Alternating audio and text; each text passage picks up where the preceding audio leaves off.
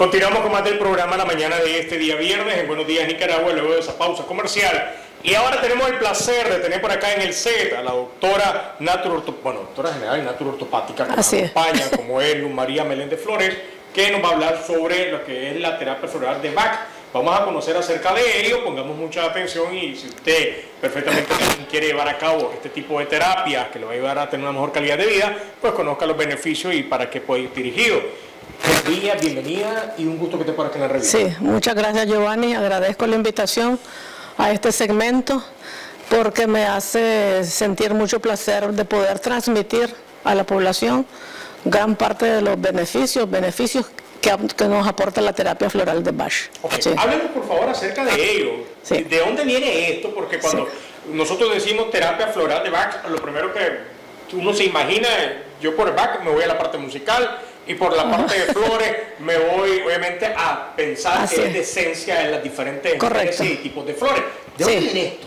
Mire, eh, el nombre, él es el apellido del doctor. Edward Bach, un médico de origen galés, ya allá por los años 1800 y algo, eh, el descubrimiento de los remedios, que son remedios naturales, se hizo por los años 1830. Ya. Él era una persona muy preparada para su época, muy adelantado, un ser muy espiritual, que de hecho por eso lo vieron un poquito como, digamos, en esa, un poco raro, en cuanto a sus principios. Era, como le decía, un ser muy espiritual y dada su preparación médica, era bacteriólogo, biólogo, homeópata, en fin, manejaba muchas disciplinas, comenzó a observar, era muy observador y se dio cuenta de que el ser humano está afectado, muy afectado por diversas diversas cosas de su entorno. ¿ya? Eh, y que la enfermedad realmente no tiene un origen material, sino que más bien nosotros estamos sujetos a desequilibrios entre el alma, que es nuestra esencia, y nuestra personalidad, que es parte de nuestro carácter. Entonces, ¿qué pasa con eso? De que toda nuestra la, enfermedad como tal no se da de manera material, si bien se refleja a nivel orgánico, pero son nuestras emociones las que crean una desarmonía entre el alma y el, y, el cuerpo. Y eso crea un desorden a nivel, también a nivel orgánico. Y emocional ya no hablemos más. ¿Ah? Está dicho con lo que, dice, eh, tu cuerpo refleja cómo se siente tu alma y cómo se siente tu espíritu. En otras palabras, que usted lo que acaba de decir, pues de igual manera, o este tipo de teoría, el hecho de que si tú te sientes mal, desde la canalización de las emociones, desde tu espíritu, tu cuerpo lo va a reflejar en cualquier tipo de enfermedad dirigido a un organismo. De ahí viene y tomando esa parte, entonces significa que la parte de la terapia floral de Bach significa que estos remedios van a trabajar desde esa parte, desde el interior de uno. Correctamente. Háblenos acerca de eso. Sí, mire, el alma es la, nuestra esencia. Sí. Es intemporal.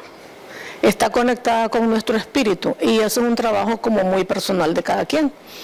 Eh, la personalidad es ya ese es otro asunto, es lo que tiene que ver mucho con su carga familiar, todo lo que nos afecta el, medio externo, es, más hasta el ambiente, hay personas, usted sabe que hay personas a quienes les afecta, les puede afectar la lluvia, las pone tristes, o por ejemplo, pero como el ser humano es tan complejo y a la vez tan sencillo, lo que pasa es que no podemos llevar, a veces las cosas se nos hacen difíciles de llevar, entonces cada quien reacciona a su manera conforme, conforme lo hecho, porque algo que a usted le puede afectar muchísimo, a mí ni me va ni me viene. y también usted lo va a reflejar de manera diferente. Y llega un momento en que usted somatiza, es decir, esa emoción, como usted mencionaba, me viaja al cuerpo y se puede manifestar de diferentes formas, según cada uno de nosotros. De modo que entonces el doctor agrupó, comenzó a observar, porque era muy observador, tenía ciertas facultades psíquicas, y comenzó a observar el comportamiento de ciertas plantas en la naturaleza. De hecho, todas las plantas, eh, todo el sistema floral de Bach, que está compuesto por remedios, por plantas que no son de aquí, ya son europeas, sobre todo del lado de Inglaterra, del país de Gales.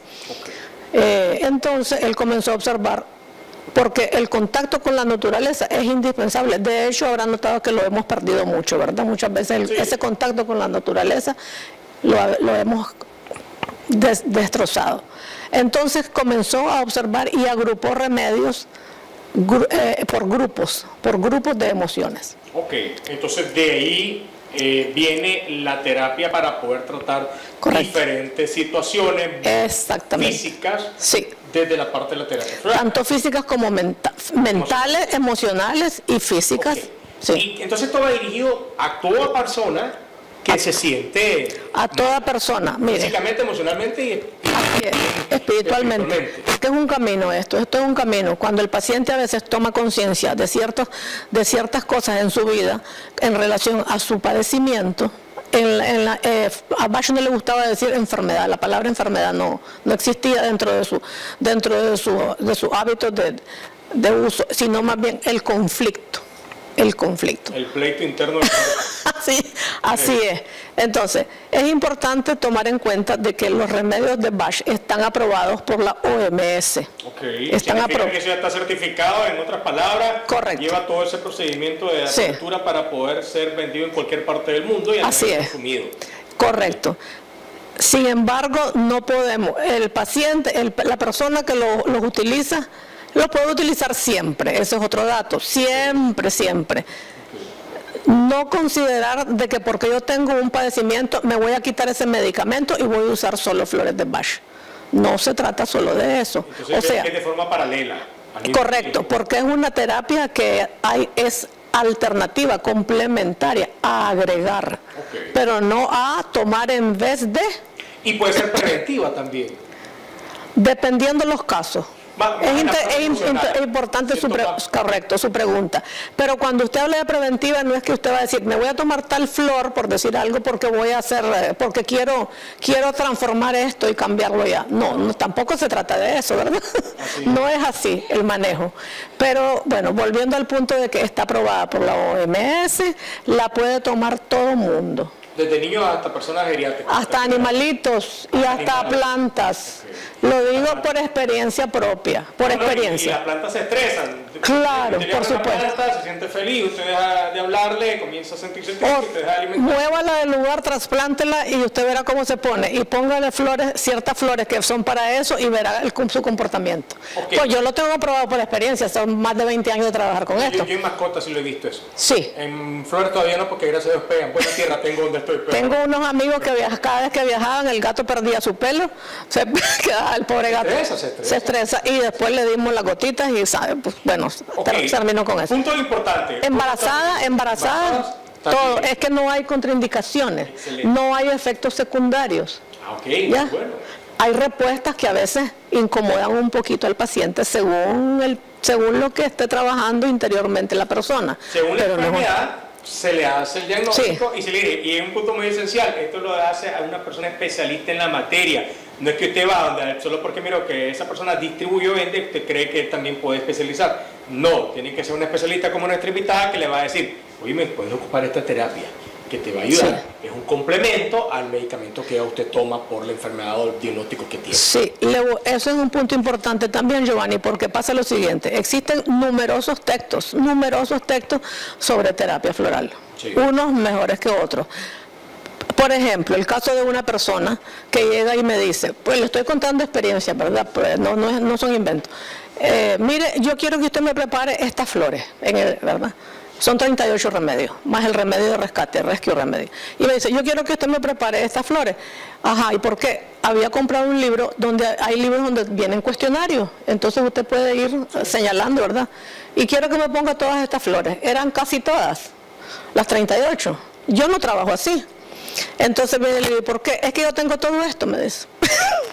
entonces, entonces, había de todo ahí, preocupación, miedo, pánico, eh, temor, en fin, eh, insón, de todo, exacto. Entonces le digo, ah, bueno, yo, yo no estaba de acuerdo, yo, no, yo creo que ni se las hice, pero la cosa es de que a veces a lo que, al punto que quiero llegar es porque si nosotros tomamos ese cuestionario, en efecto, si tenemos de todo, porque somos seres humanos, no somos perfectos. Y en algún momento de nuestra vida vamos a sentir celos, envidia, ira, tristeza, eh, ¿cuántas, cuántas emociones no hay, ¿verdad? Pero cada una de esas emociones también puede derivar, acentuarse y volverse un problema. ¿Cuál es Ahí el está el punto. directo que esto hace con el la afectación o el diagnóstico que puede tener un paciente. Si hablamos que un paciente tiene una afectación específicamente del hígado.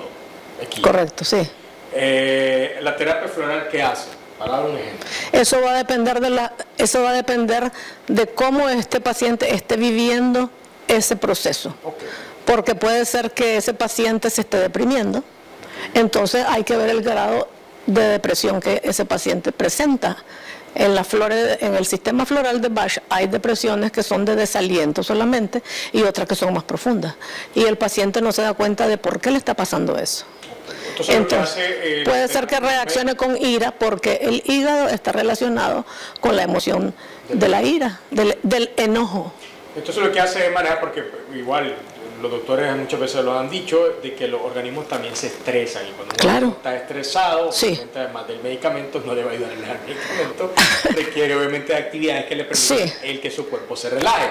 Eso es uno de los beneficios que hace la Correcto, es uno de los beneficios porque usted lo que va a hacer es agregar, agregar las flores de Bach a su tratamiento.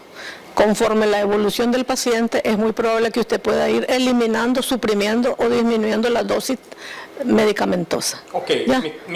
beneficios. Entonces, eh, eso también. Doña doctora Luz María, como le había mencionado, a veces el tiempo se va rápido.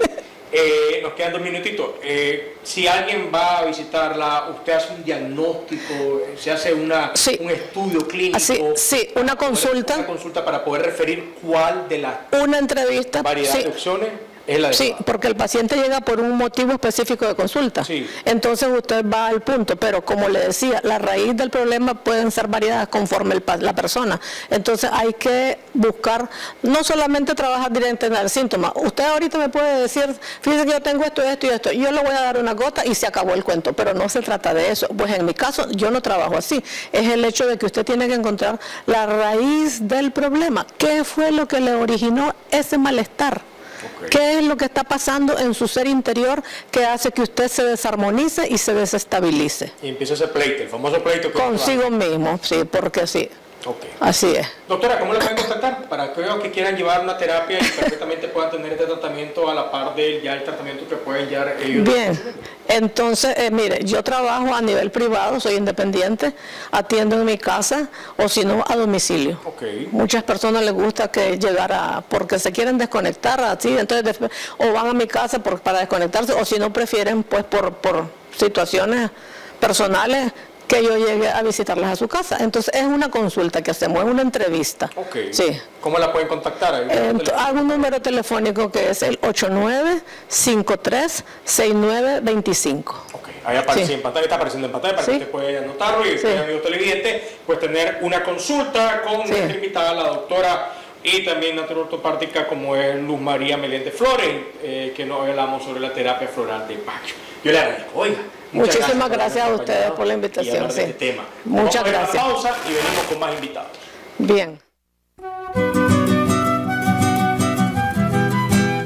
Reconocimientos, denuncias, quejas y sugerencias. Envíelas a Canal 12. Programa Buenos Días Nicaragua. Residencial Bolonia. O llámanos a los teléfonos 2266-0691 2266-9983, 2266-9984. Escríbanos a nuestro correo electrónico canal12 arroba canal12.com.ni. Redes sociales, Facebook Noticias 12 Nicaragua, YouTube, Canal 12 Nicaragua, Twitter arroba canal 12 Nic. Visita nuestro sitio web www.canal12.com.ni